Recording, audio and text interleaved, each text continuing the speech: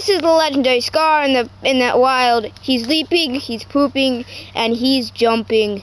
You can't see his face, but he's screaming, and he's screaming because he's got a golden scar. And that's the end of this video.